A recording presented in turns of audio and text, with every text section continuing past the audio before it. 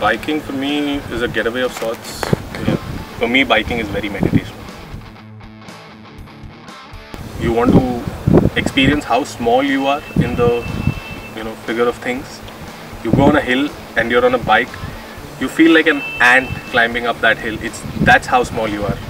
You know, so it, it, it just teaches you so many different things biking. My maximum riding in one day has been 700 kilometers. Beautiful, beautiful ride. You know, bang in the middle of winter, I left from the jungles of Karnataka, and uh, 700 kilometers. I was, you know, I was in Bombay in I think 11 hours, which is just amazing. And you know, it, it wasn't even the road; it was just a plain stretch of highway. I'm a writer, so I realized that you know, just riding to these smaller places smaller places of interest in terms of tourism. I can go there, talk to people. So that's what I do usually on weekends. For the bike week, I am going to Goa. I mean, it's a festival. Come on, there's music, there's other men with other bikes. So, yeah, yeah, that's what I'm looking forward to. More bikes and some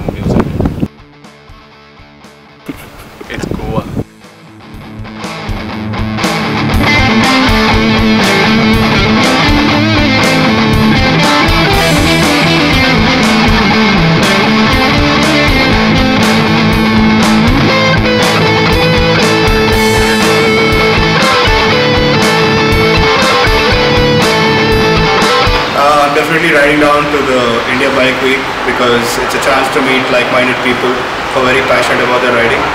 There's some music and it's in Goa, so yeah, I'm definitely looking forward to that.